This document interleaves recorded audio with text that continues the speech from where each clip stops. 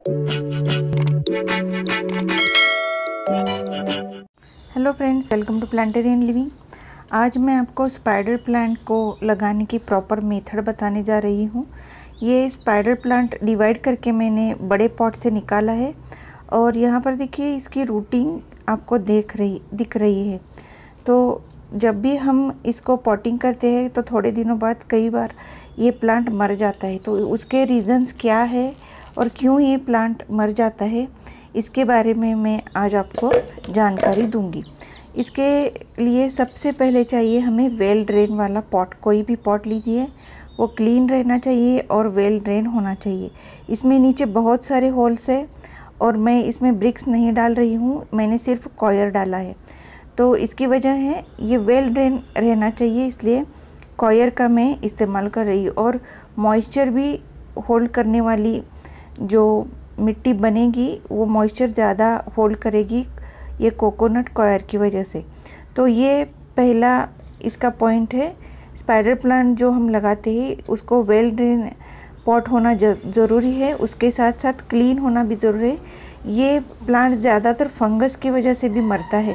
इसके रूट्स में जल्दी फंगस लग जाता है। इसलिए ये फंगस से भी प्लांट कई बार मरता है। तो पॉट जब हम लेते हैं तो वो क्लीन होना चाहिए। चाहिए तो आप इसको अच्छी तरह से हाइड्रोजन पेरोक्साइड से भी क्लीन करके ले सकते हो, या फिर कोई भी स्टरलाइजेशन से आप स्टरलाइज कर सकते हो। अब हम इसमें जो मिट्टी डालने जा रहे हैं, वो एक तो इसमें सैंड होनी चाहिए, अच्छी तरह का कंपोस्ट होना चाहिए। मैं इसका कंपोजिशन बताती हूँ। Thirty percent garden soil thirty percent कोई भी कंपोस्ट मैंने आज यहाँ इसमें वर्मी कंपोस्ट डाला है और थर्टी परसेंट कोई भी मॉइस्चर होल्ड करने वाला आप कंपोनेंट डाल सकते हो, जैसे कि राइस हस्क है या फिर कोकोपीट है। मैंने कोकोपीट यूज़ किया है इसमें। कोकोपीट भी अच्छी तरह से डीके हुआ चाहिए। और फ्रेश कोकोपीट यूज़ कर रहे तो थोड़ा आपको उसको स्टरलाइज करना पड़ेगा। उसके बाद आप यूज़ कर सकते हो। कई बार कोकोपीट की वजह से भी प्लांट मरता है। कोकोपीट में कई बार फंगस भी लग सकती है कोकोपीट की वजह से। उस रीज़न से प्लांट मरता है। और टेन परसेंट सैंड ली है मैंने। ऐसे कंपोजिशन में आपका प्लांट बहुत अच्छी तरह से ग्रो होगा। इस प्लांट को ज़्यादा फर्टिलाइज़र की ज़रूरत नहीं होती। साल में दो बार आप कर सकते हो। अभी फेब्रुवरी में भी आप कर सकते हो स्प्रिंग सीज़न के पहले। और यहाँ पर देखिए, ये ब्लैक ब्लैक अच्छी तरह से ब्लैक हुआ। जो कंपोस्ट दिख रहा है आपको तो कंपोस्ट इस तरह का चाहिए, जो अच्छी तरह से डीके हुआ। ताकि डीके हुआ जो कंपोस्ट होता है, वो जल्दी न्यूट्रिएंट्स रिलीज़ करता है मिट्टी में। इसलिए वो डीके हुआ यूज़ करना ज़्यादा ज़रूरी होता है। तो देखिए अब इतनी हमने मिट्टी डाली और इसमें हमें अब ये जो रूट्स है, इतना नीचे डालना चाहिए। यहाँ तक मिट्टी आनी चाहिए। इसके ऊपर आप मिट्टी मत लीजिए।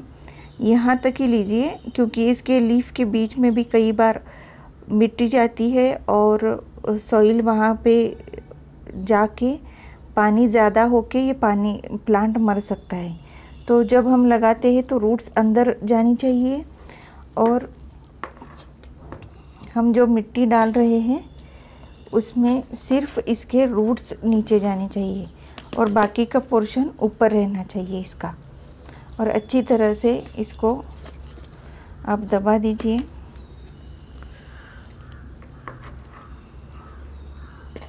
और प्लांट को लगा दीजिए। ये प्लांट कई बार फंगस से भी मरता है तो आप फंजीसाइड मिला दीजिए। मैंने इसमें ट्राइकोडर्मा मिक्स किया है मिट्टी में। ट्राइकोडर्मा का पाउडर मैंने सॉइल बनाते समय डाला था। आपके पास कोई भी फंजीसाइड हो तो आप वो डाल सकते हो और उसका यूज़ कर सकते हो।